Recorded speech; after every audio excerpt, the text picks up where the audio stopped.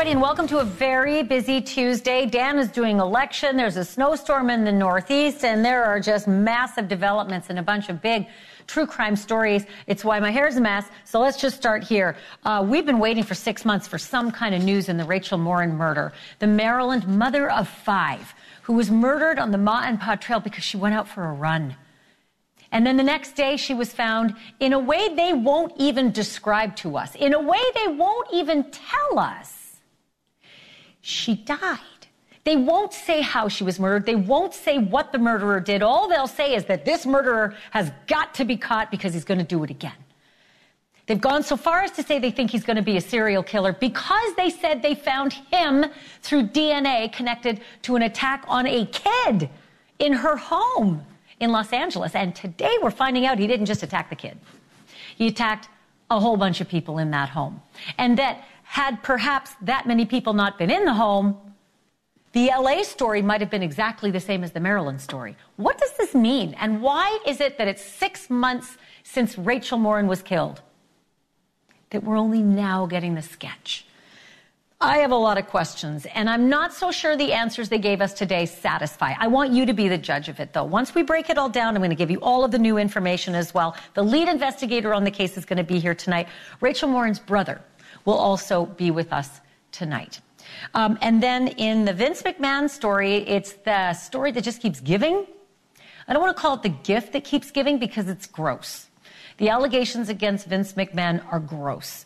They're like Roger Ailes gross. They're like Harvey Weinstein gross. Jeffrey Epstein gross. The allegations are disgusting. Not just rape and sex trafficking and sex assault and pimping out some of the staff members who are female to try to juice the contracts for the upcoming wrestlers. Not just, not just those allegations, but the kinds of things that he allegedly texted he wanted to do. And then the reports of the things he did do, like defecating on one woman's head during a sex act on someone else. Well, guess what? It turns out there's some pretty big name wrestlers who say this isn't even the worst. And one of those wrestlers is joining me tonight. He says he knows the secret. He says it's big. Not just big, massive. It's like the other shoe to drop, but it is a colossal boot up the you know what. That'll be in just a few moments. And also, if the end of the world is coming, do you know where you're going to go? Uh, whether it's you know a nuclear war or whether it's you know just massive invasion or whether it's the zombie apocalypse, whatever it is, pick your battle. We're going to ride it out because there is one man who is selling right out shelters to the very very wealthy. And can I just say, for the folks who can afford it, they are going to survive the end of times in style. I just don't know what they're going to do with all their money after. Or maybe the money will come in handy? I don't know what they're thinking, but here's what I do know. The bunkers are insane. Like, amazing. Like, I don't even think you can find a hotel room this nice. And our Brian Entin got a ticket to ride. He's going to sleep in one of those bunkers tonight. He's joining me live. He's going to show you what it looks like inside one of these survivalist bunkers. But let's start here. It has been now more than six months since the name Rachel Morin first showed up in our headlines and not for anything good. She was a 37 year old mother of five, went for a Sunday run on a popular Maryland trail, and never got to come home. Her boyfriend reported her missing on August 5th, and her body was found the next day in a drain culvert. She had been violently murdered, but police have never said exactly how. They withhold a lot of details about this crime. But a few weeks later, they seemed to get a big break because DNA from Rachel's murder matched an assailant who had attacked a young girl in her home in Southern California a few months earlier. And that man uh, was even seen on a doorbell video, kind of. Like they caught this image of him from the back, but they did not catch him. No suspect has been caught or named. There isn't even a sniff, it seems. So now investigators are hoping to generate new leads by releasing new information and some brand new, highly detailed sketches. Suspect is believed to be Hispanic between 20 and 30 years old, about 5 feet 9 inches tall, 160 pounds. The investigators now say he assaulted not only the young girl in the LA home, but several other people in that home as well. It's the first time we've actually even heard there were more than a few people in the home, multiple people. Certainly the first time that we were told they were also assaulted by this guy. The cops say that the attack in that Los Angeles home could have turned out to be the same thing that Rachel Morin suffered in Maryland. Here's what Chef, uh, Sheriff Jeffrey Gahler of Harford County, Maryland, told News Nation's Nicole Burley earlier today. I do think had he had more opportunity there, it would have been a worse crime scene there, similar to what we um, are investigating in Rachel's case. And, uh, you know, uh, no people, no individuals uh, here, there, or anywhere deserve their life to be ended in such a way. You know, Rachel was a young mom, five children, um, uh, you know, mom, sister, brother, still um, and, and looking for answers, looking for this person. I, I have no doubt in my mind. I've been doing this 40 years. If this guy is not caught, he will do it again. We have also learned that the red Air Jordan hat that you see in the, the sketch there, the one that was left behind in the LA attack, that's where police actually got the DNA from the hat. That, I have a lot of thoughts about that. Um, we know that the suspect also was not wearing that hat, obviously, because it was left in the home, but was wearing maybe a similar hat, a similar baseball hat when he attacked Rachel in Maryland. Rachel's family has tried everything to identify this killer. They have delivered more than 10,000 flyers door to door in LA, and they printed them in both Spanish and English, just hoping for any kind of small clue. The authorities have interviewed more than 100 people. They've dug through a thousand tips, and still there is no one in custody. Joining me now exclusively is Rachel Morin's brother, Michael Morin. Michael, thank you for uh, for being on tonight. Again, I can't tell you how sorry I am to, to you know know what you and your family are, are going through, and I can't even know the half of it. But this has to feel good that at least there's a sketch that's out there publicly. I am personally troubled. It's taken six months. I would love to know what your family thinks about that delay. Yeah, I mean, um, you know, I think there's a reason behind uh, releasing the sketch, like uh, the sheriff has said. Um, you know, making sure it looks, uh, you know, very similar to the uh, the guy. Um, you know, six six months is a long time, and a lot of people, you know, they say time heals, uh, but in this wound, you're not having, uh, you know, him captured. it's like bacteria, and it's been festering. So it's it's you know compounded the uh, the grief for our family. And speaking of that, I, I can only imagine that at least the police are you know, keeping regular contact with you. I would hope that that's what's happening. What is the latest that, that you know? Do you know more than we know? And are you in regular contact with the investigators? Yeah. Um, you know, I haven't been in as much contact as I was initially. Uh, you know, I knew a lot of the information that came out in the sheriff's podcast. Um, I didn't know about the hat. That was new information for us. Um, so, it, but we, you know, there there is some information that we have that a lot of other people do not have. Um, you know, speaking to, uh, you know, witnesses and and uh, other people. So. Is there is that information you can share with me tonight? No. Unfortunately. This is something that you shared with the with the police, though. Yeah, I mean the police are, um, you know, aware of uh, this information. And is this does this pertain to witnesses in, in Maryland or witnesses in LA? Yeah, in uh, Maryland. Have you and your family ever been successful in trying to at least track down the home where that assault happened? Because I, I, feel like that was part of the strategy was to try to identify what home that might have been.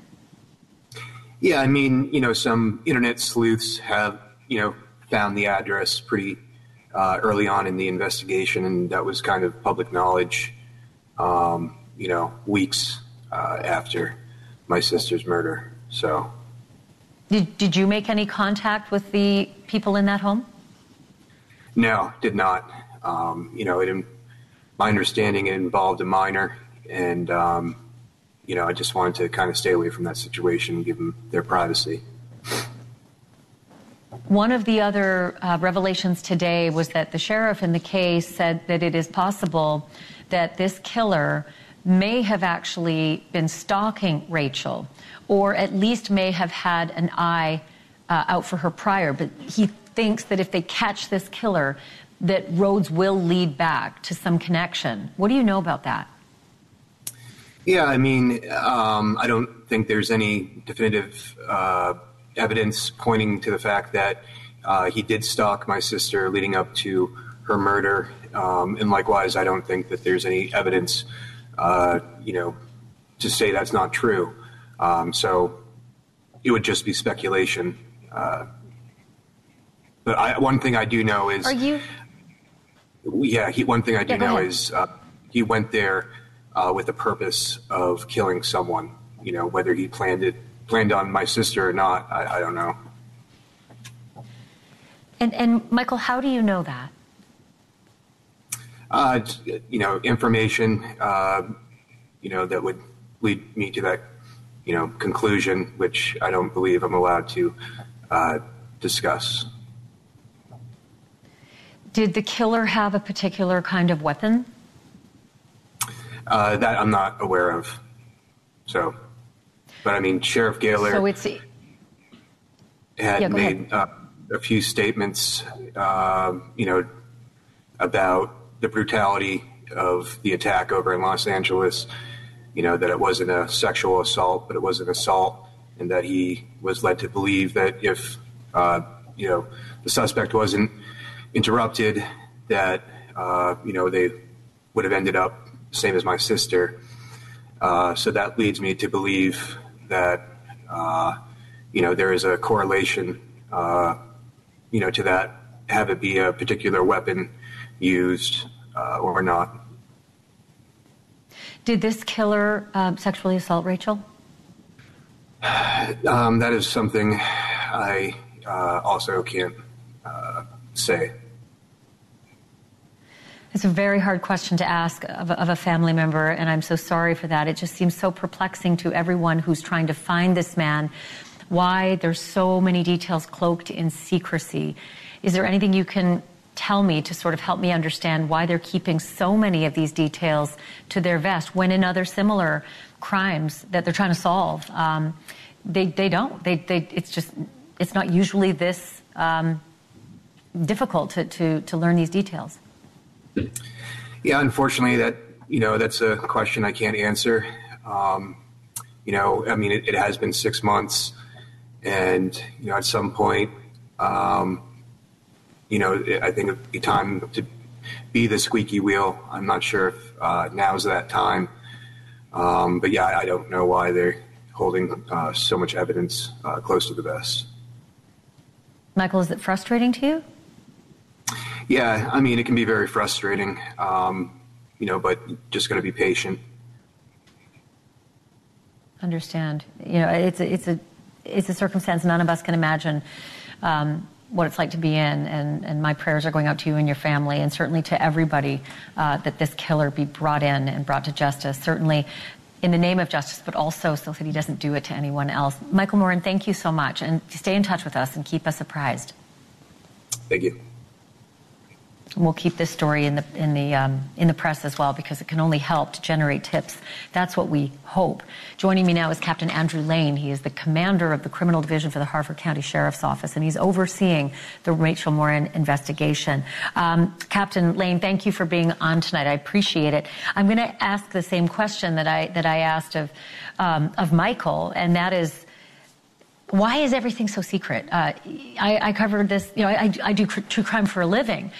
And not many cases are cloaked in this much secrecy as this one. And I only imagine that the more details that are out there can help to generate um, leads and tips. I also understand keeping things close to the vest, but there's a healthy balance. No, I agree with that, ma'am. There is a healthy balance. I think we've uh, spoken openly about uh, the crime scene. We've recently released a sketch um, that you showed there at the beginning. Uh, I think we've uh, been open with the public, but there are certain details uh, of the case that at this point we're not prepared to discuss. the the fact that the sketch is coming out now, and the Air Jordan hat, these are such incredibly helpful details. It shouldn't take six months to um, to coalesce the number of witnesses on the East Coast and West Coast to come to an agreement on details of the person they believe they saw. It shouldn't take six months. I understand it's not immediate, but why six months? Is it, I mean, is it at all possible that this killer has raped and or murdered again in those six months while perfection was being sought in releasing a sketch? I don't think it was perfection we were seeking, ma'am. I think what we were trying to do was yes, locate witnesses here in the East Coast, which we didn't uh, locate all of them immediately, and then also uh, use witnesses on the West Coast along with the video that we have to try to come up with uh, the most exact sketch that we could. What we didn't want to do was release multiple sketches of the same suspects. We wanted the public to be able to see the best image that we could possibly come up with uh, when we released it. Also, one of the details that you released today was that uh, multiple people in the LA home had been assaulted. Is it fair to say, and, and, and not only that, but that the killer of Rachel Morin did not enter the LA home through the front door? Is it fair to say the killer came through another egress, perhaps a window, and that other members of the family or other people in that home in LA fought with that suspect and scared him off. I, am not going to comment exactly how he entered the home, but yes, he didn't uh, enter the front door of the home. He came through uh, another entrance. And uh, yes, it would be fair to say that um, there was a, um, obviously a confrontation in the home, which said the people were assaulted um, before he left.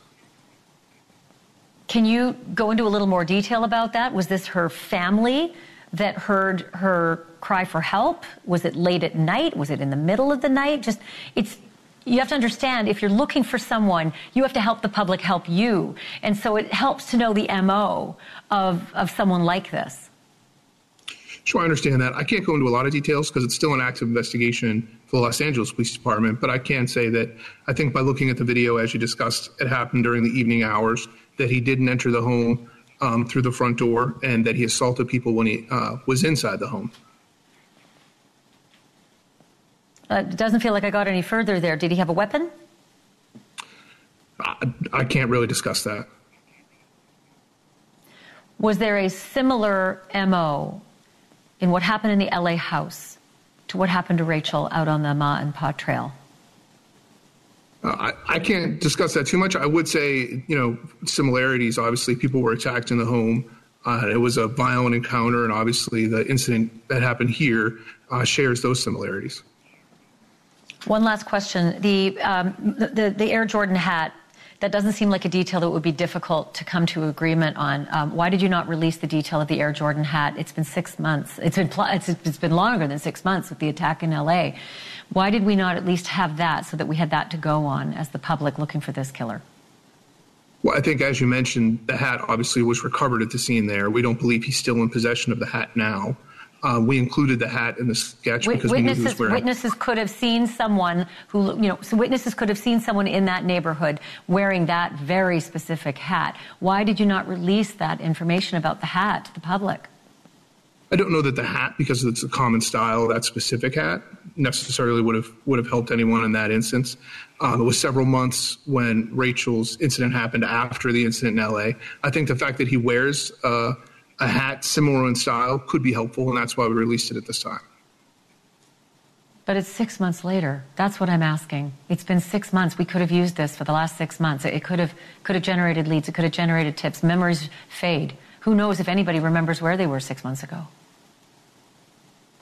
and when the yes, I understand the point you're making, man. But we felt like the the best impact we could have is is now, and that's why we released it now. Well, I hope you'll release more uh, so that we can keep this story alive and help the Morin family bring this man to justice and help anybody else out there who may be victimized by this person because your own boss has said he's going to do it again. Your own boss has said that they think that, you know, the sheriff thinks that this is a serial killer and that someone else could be uh, in grave risk. So uh, let's talk again, shall we? Yes, ma'am. Captain Andrew Lane, um, commander of the criminal division for the Harford County Sheriff's Office, uh, office overseeing the Rachel Morin investigation. Um, I don't usually do politics on this show, but this is Tuesday, and a very big race has just been called. And believe it or not, uh, this is a race, weirdly, that intersects with true crime. So it's the special election in New York for the congressional seat that was briefly held by George Santos, who you know, even if you don't follow politics. If you watch SNL, you know.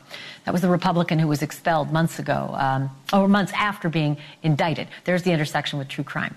Uh, the voters in Queens, parts of Long Island, uh, had to brave a massive snowstorm today just to get to the polls. And our decision desk has just called the winner. Um, it is the Democrat, actually, Tom Suozzi, uh, three term veteran of that very seat. This uh, represents a key pickup for the Dems. This is a tough loss for Republicans who are eager to keep their razor thin House majority from getting any thinner. Santos became, of course, a punchline for his outlandish lies some of which form the basis of almost two dozen felony counts of fraud and theft and money laundering. Uh, he was also a guest on uh, Dan Abrams Live just this hour. Take a look. Do you think your scandal hurt the Republican Party in the special election? Absolutely not. Last year in 2023, we had local elections. Every single Republican incumbent in NY3 was reelected, and we flipped two seats locally from blue to red that historically had been blue. So George Santos does not affect the bottom line of anyone in NY3, and I think that's been proven last election, and I think it'll be proven tonight. Oh, well, um, no matter what about tonight, Santos is due to stand trial in September, which makes him, again, part of this show. Uh, his old seat is uh, going to be up, up, for grabs again in the November election, so this is just a little holdover space. Um, my colleague uh, Leland Vittert joins me now with more. Leland, one of the things I couldn't believe that um, Santos said on Dan's show was that he'd actually kind of be happy if a Dem got it, just to kind of stick it to the Republicans who tossed him out. Um, I mean, I don't even know what to say about it. You just take it away. well, he, he, got he got his wish, right? And I think you were right to point out um, that the weather played an enormous role of this because the Democrats had done an amazing job of getting people to the polls uh, for the early early voting and doing the absentee ballots. Um, and Republicans had hoped to make it up on election day, and then the snowstorm hit, and uh, things ended here pretty uh, pretty early. Tom Suozzi now winning. Uh, in a larger sense, actually, I think you're right to bring up that, that George Santos is, sort of makes everything larger than life and his lies and his embellishments and sort of the, the game of the psychological warfare he played and occupied in everybody's mind, both in Washington and then um, in the media for a long time, uh, plays into this. Uh, in the end, this came down to another issue, uh, which was crime. Uh, immigration, which has become an enormous issue in New York City, as you know, uh, and in, in, larger New York, in the New York metropolitan area. That played a huge role in this election. Uh, and the crime committed by the illegal immigrants who had come in, particularly the beating of the NYPD cops uh, a couple of weeks ago played a large role in this race. It was not enough um, for the Republican to overcome what was a pretty significant Democratic machine. Huge amounts of money, uh, 15, 20 million dollars of outside money spent just on this race. They were hiring snowplows today uh, to bring voters uh, to the polls. Mm. A lot of Dems don't like the crime uh, in New York either. So there's a bit of a sea change there for, I'm sure, many of them. But I just love the fact that he said, I'm not done yet. Still wants to be in politics, he said. So, um, how about you and I make a date for the crime story that we're going to cover with George Santos when he has to stand trial in September, and then we'll talk again with whatever his next step is going to be. How does that sound, Leland? Pop the popcorn. All right, thanks, Leland. By the way, I should mention that crime is technically down 4% in New York, but you can always cherry pick those numbers as to whether it's murder or whether it's, you know, people getting dragged by those motor scooters or being, uh, you know, shot at in, in Times Square. Things are looking pretty ugly on the headlines alone. Okay, still to come on this show. In the 80s and the 90s, the biggest names in wrestling included Mr. Perfect, The Million Dollar Man, King Kong Bundy, and The Undertaker. And one man fought them all Mario Mancini. He spent years as a scripted WWE wrestler, pulling his punches each and every night and making those men stars. But he is not pulling punches anymore. Tonight, he is breaking his silence about the allegations against Vince McMahon. He says, as bad as they are, brace yourself. The worst is yet to come. That's next.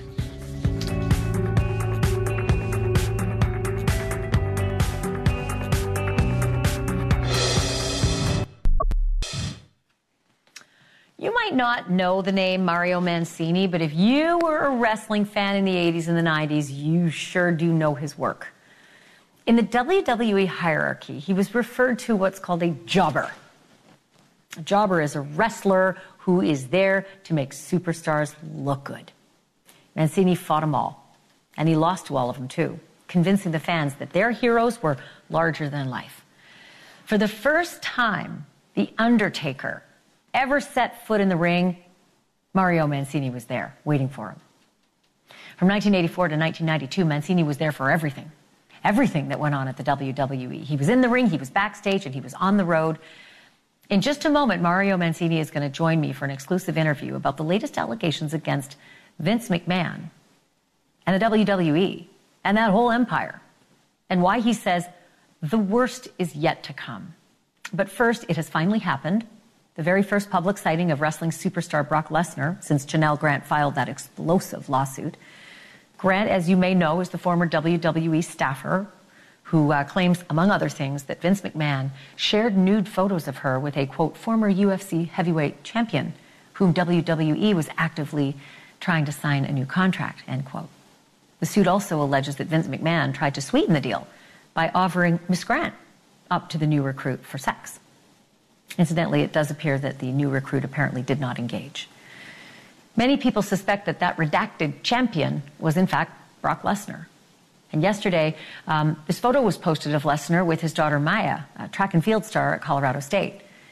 He still hasn't made any public comments, and the WWE kind of seems now to be pretending that Lesnar doesn't exist. Diamond Dallas, um, Diamond Dallas Page, if you know that name, uh, gave an interview to the website um, Sportskeeda, but it, he didn't seem to be giving much of anything here. This is the quote. I didn't read the complaint. I didn't see what was said. I've heard bits and pieces of it, and I wasn't there, bro. You'll never hear me comment on something that I wasn't there. And if I'm going to have a comment, I'm most likely going to say it right to the person's face. So they didn't hear, oh, DDP said this. Like, no, I didn't for what it's worth, I wasn't there when Harvey Weinstein did what he did to all those women. I'm commenting on it. I don't think most people witness rape. I don't think most people witness most crimes, and you can still have an opinion. The Undertaker is one of the most famous WWE superstars of all time. He had a very close relationship with McMahon and says it's a very different WWE with McMahon's son in law, Triple H, now in charge of content. And here's his quote when I was working full time, or even when I wasn't, it was just so chaotic. I've seen Triple H get worked up, but I haven't seen him yell at talent. I haven't seen him badmouth anybody. Once again, um, we're not really talking about yelling at people. yelling is not the problem. Yelling is not illegal. The other stuff is. When Vince McMahon was in charge, the storylines were insane. And on occasion, they ventured into the kind of filth that is absolutely not fit for family entertainment. Take a look.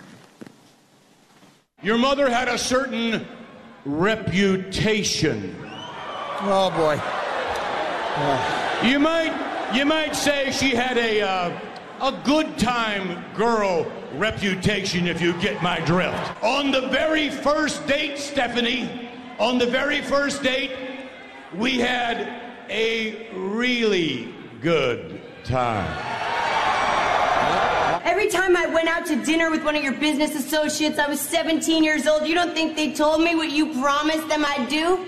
And guess what, Dad? I did it. I did it for you, the things I did with them, and I'm ashamed of myself. I'm ashamed of myself that I'm just like you. As for my qualifications, I'm not going to tell you. I'm going to show you. He's going to kill this. Somebody stop Stacy. He's doing a cardio on us.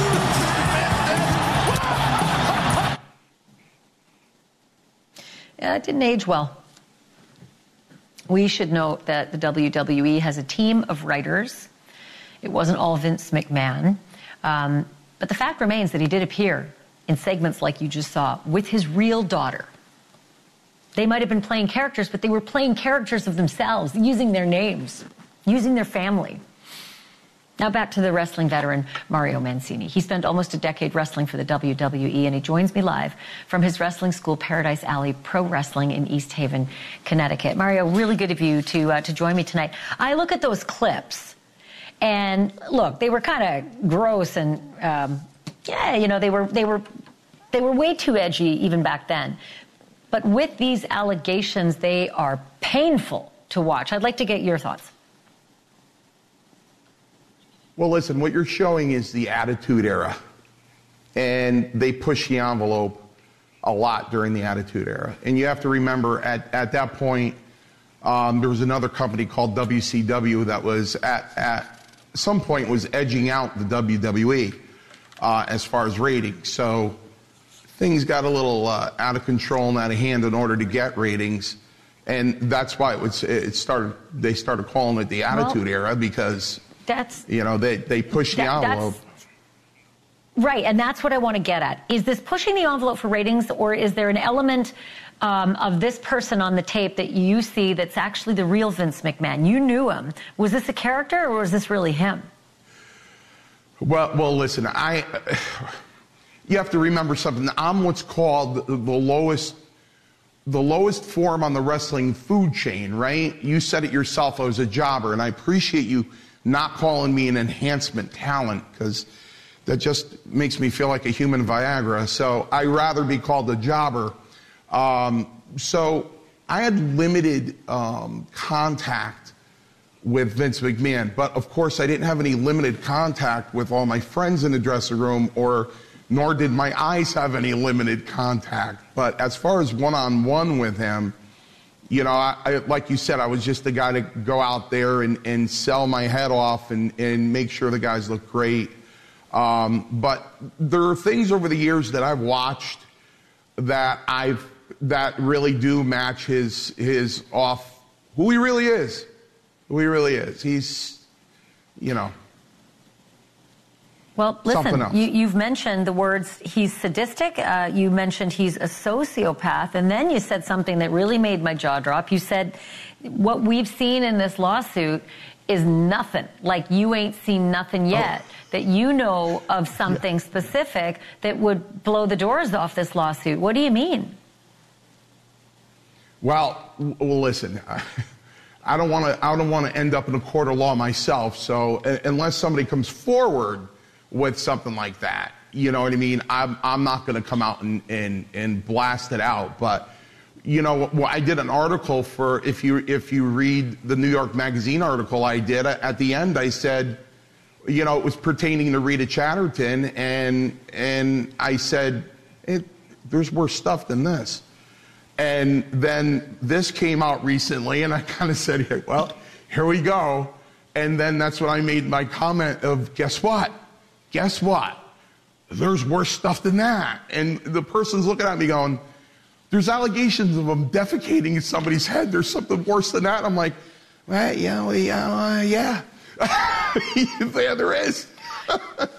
But, Listen, I, I, I, I understand. Know. I understand you don't want to be up on, on defamation, but I, I got a couple seconds left only. But can you at least give me a hint of what it is you're referring to? Um, listen, all I can say is you know, back in the 80s, um, it was the wild, wild west. You got to remember something. It was a privately owned company. Um, it was family owned. There were no rules, and you know, things just things just happened. I, I really, I really can't even give a hint. I could never do that. It's it's bad enough I'm on here. What I'm doing, you need to know what I'm doing is taboo. Nobody would Nobody would do this. Can you tell that, me this? It just Mario, doesn't happen. Can you tell me this? What the, the material that you're saying is worse than what we've seen in the lawsuit. Did someone get hurt? Did multiple people get hurt? Um, I, I would think over time, probably from the late 70s to early 80s. Well, yeah, sure. Mario, we'll have to have you back. I understand the pressure you're under, um, but as things perhaps begin to get more clarity, um, you might be able to to speak more freely. And I, I, hope we get that. I hope we get to that day. Thanks for doing this tonight. Really appreciate it. Oh, well, uh, thanks for having me on. I, I've been on a lot of, of podcasts and stuff, but I've never done, done anything of this magnitude. So, but yeah, this was huge. So I'm sorry we didn't have a, a, a lot of time, but. It's an understandable. story still developing, and we'll certainly have you back. Mario Mancini, thank you. I also want to let our audience know um, that tomorrow I'll have two more exclusive interviews on this crisis. Paul Roma is a former WWE star who spent more than 10 years with the company working for Vince McMahon. I'll also be joined by the best friend of former WWE superstar and Playboy cover model Ashley Massaro. In November of 2016, Massaro claimed she'd been sexually assaulted on a WWE trip to Kuwait. She alleged that McMahon and the WWE knew all about the attack, but decided to cover it up, something the WWE is denying. When she got back from the trip, her best friend says that Ashley told her everything about the alleged rape. Massaro died by suicide back in 2019, but that friend is going to join me for an exclusive interview tomorrow. And still to come on this program tonight, um, I've got one of those what would you do situations. Say somebody you love disappears without a trace and 20 years pass without a clue or an answer. Do you give up? Maura Murray's family says no way. Maura disappeared after her car crashed on a lonely road, but cops couldn't even find footsteps leading away from her car. The FBI thinks she might look like this today. That's Maura on the left. And that is an age progressed picture on the right. Maura's big sister, Julie, joins me live next.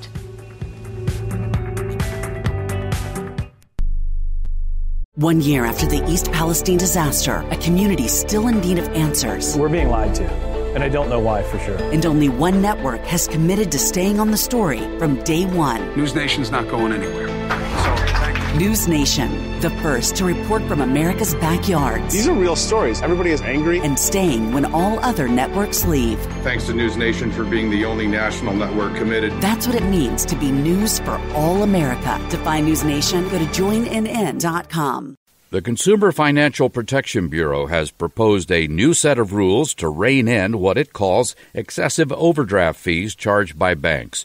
Currently, consumers are paying nearly $9 billion in overdraft fees, more than 2.3 billion to just 10 large banks in 2023. There's good news for sports fans. There's a proposed agreement on the table that would ensure video coverage of local and regional sporting events. Amazon may partner with Diamond Sports using Prime to provide local coverage of Major League Baseball, the NBA, and the National Hockey League. There's a new trend that started on TikTok with children as young as 10 buying skincare products. One dermatologist in Washington, D.C., tells WTOP Radio that the trend may do more harm than good. She believes cosmetics firms are targeting preteens and encouraging the trend. I'm Mark Huffman. Learn more at consumeraffairs.com. The key to unlock the next breakthrough in cancer research could be sitting in your driveway. Stand Up to Cancer's vehicle donation program makes it easy to turn your unwanted vehicle into funding to support innovative cancer research. So when you're looking to get rid of your old car, truck, motorcycle, RV, or boat, why not donate it to Stand Up to Cancer? You can be a driving force in cancer research. Donate your car today. Visit standuptocancer.org slash cars to learn more.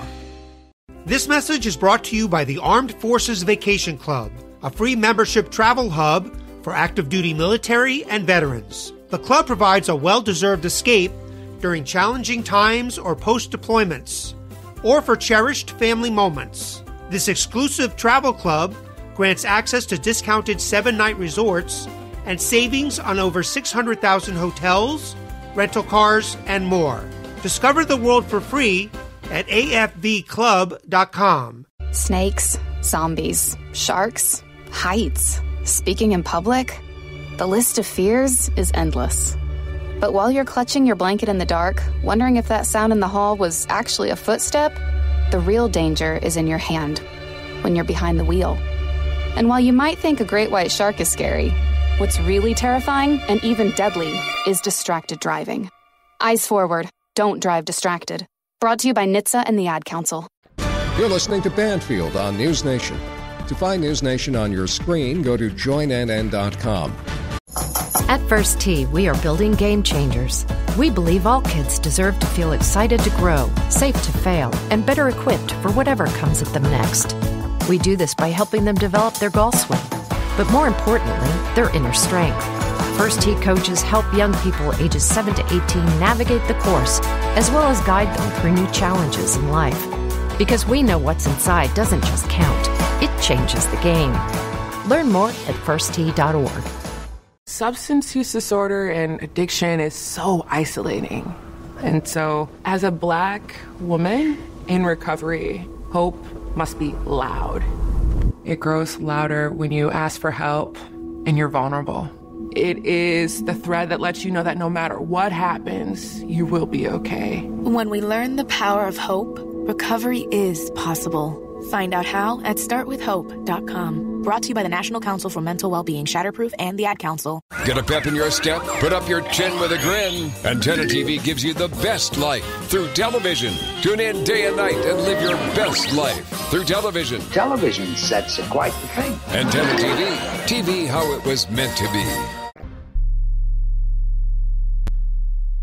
Behind almost every missing person or unresolved tragedy, there is a family waiting for answers. And Maura Murray's family has been waiting for 20 years now. This is Maura at age 21, the last time that her family saw her. She was a former West Point cadet turned nursing student and a standout athlete at the University of Massachusetts Amherst. On February 9th, 2004, that's 20 years and four days ago, she told her professor and a few others on campus that there'd been a death in her family and that she'd need to travel. Only no one in her family had died. She also withdrew almost all of her money from an ATM, and Maura Murray hit the road in her car.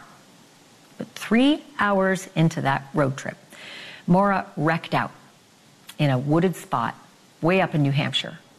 And police got there, like just within minutes of the witnesses who called 911. But here is where things go sideways. Maura was gone. Nowhere to be found. They found the wreck, they found the car. They found no footprints leading away from the car. The doors were locked. There was a box of wine in the back seat.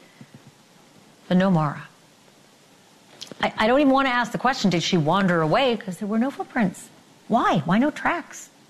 Was she picked up by a stranger? Was she a victim of violence? Did she run away again? No footprints. Nobody knows. I want you to take a look at this FBI uh, created age progressed photograph, predicting what Maura might look like today at age 41. And Maura's big sister Julie has launched a podcast that explores every detail of Maura's disappearance in hopes of maybe turning up some new lead, anything, anything new. First few episodes are out now. Here's Julie talking about the last time that the two sisters were together. Maura was 21 years old, a Dean's List student studying to be a nurse following in her mother Laurie's footsteps.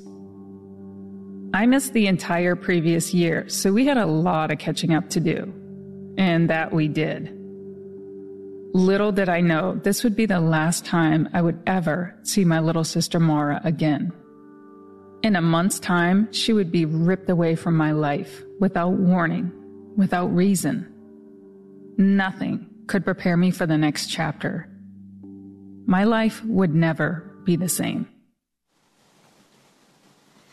That is from episode one of the podcast called Media Pressure The Untold Story of Maura Murray. And here is the face behind the voice, Julie Murray. That's Maura's big sister. Julie, thank you so much for being on the program. And I mean, I didn't know until just recently that your podcast is number four on Spotify. I mean, it's only being bested right now by Joe Rogan, Tucker Carlson, and Jason Kelce, um, Jason um, and, and, Travis Kelce. It, I mean, it is it is incredible that you're getting this much exposure. Is it turning into any leads or tips at this early point? Actually, it, it has. Um, within the first week of the podcast launch, we've already got several viable tips in that we're pursuing actively right now. And are the authorities who I, I, assume have been working on the case, are they thrilled with the notion that they might have a new energy injected into the investigation? Well, I think they want to solve this case just as much as my family does. So it's just another tool, another technique to try to generate some new leads, maybe jog someone's memory. Um, but most importantly, it's to give my missing sister Maura a voice in her own story. I'm looking at the age progression. Um, to me, my goodness, she barely looks a year older, uh, let alone 20 years older. Do you think it's an accurate portrayal of what she might look like now? Honestly, I think I'm a more accurate uh, image of what she might look now because uh, we do look so similar.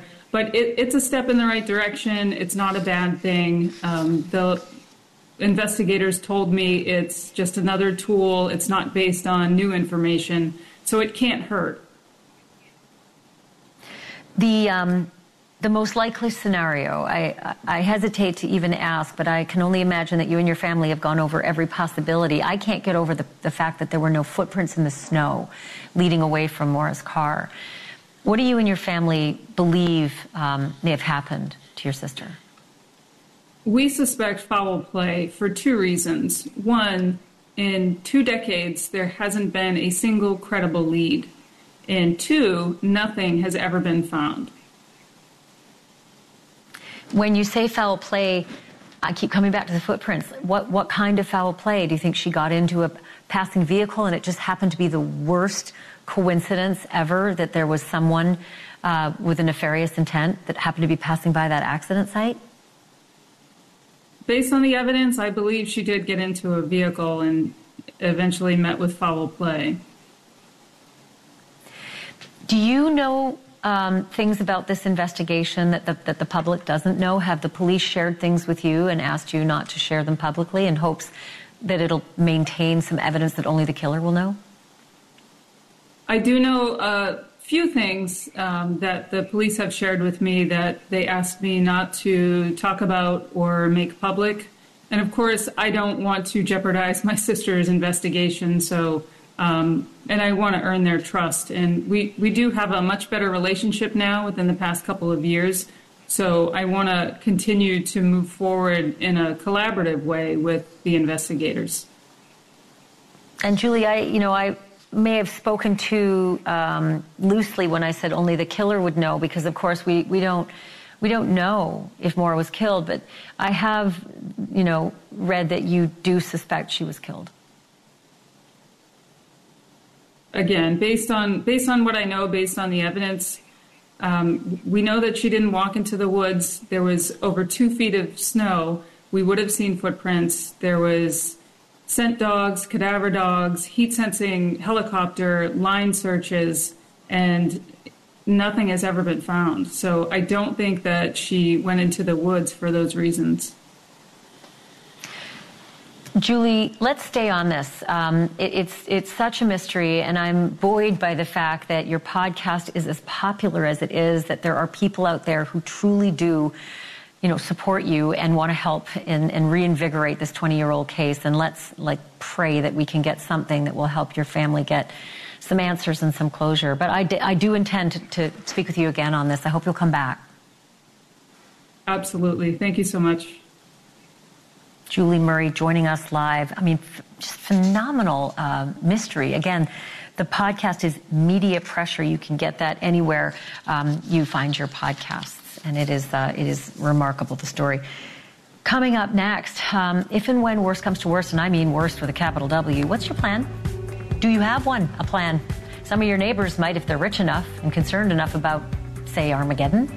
After a break, our Brian Entin is going to take us to an ultra exclusive, super expensive underground bunker that just might survive the end of the world if he can survive the night. He's live after this. You have found the most deluxe bunker cribs the world has to offer in Indiana? We have. We're going to take you inside, Ashley. We don't have a ton of time. We're in the middle of Indiana. We agreed not to say where we are, uh, but I want to quickly try to get you downstairs so you can see what this is like, Ashley, because it's pretty insane. Uh, there's basically this little building on top of the ground. You never know what it is, but you come inside here, and again, we're going to try to walk fast. Forgive, uh, I'm sorry, Mo. Hopefully, uh, we'll make it down the stairs here. Come down deep under the ground here, Ashley, into the bunker um, around the corner. I gotta get this door open fast, which I wasn't planning on. It's like a big nuclear proof bomb blast door. You open and you would never know it. Come inside. This is the little security room. You come around the corner here. I already have claustrophobia. Nice bathroom here, Ashley. Uh, these are my, my bunker friends uh, who, who I met here. Everybody's hanging out. I just lost you on the IFB, so I'm going to make this quick. This is the living area here. We just had pizza down here in the bunker. We're going to have more for you tomorrow. Uh, and this is the little room that I'm going to be sleeping in. So I can't hear you, Ashley, uh, but this is where I'm going to end up. Uh, and uh, we'll have more for you tomorrow from, from the bunker, Ashley. Oh man, I can't wait because I love these kinds of bunkers. I can tell our audience, Brian, that this is called the cruise ship. It sleeps uh, 80 people, 10,000 square feet. You have to have a boatload of money in order to get yourself one of these things. Brian's going to have all the details. He's going to survive the night. He's going to sleep. I was getting agita just going down that far underground. All right, so tomorrow, Brian, with the full report on these amazing uh, end of times bunkers. In the meantime, stick around. Cuomo's next.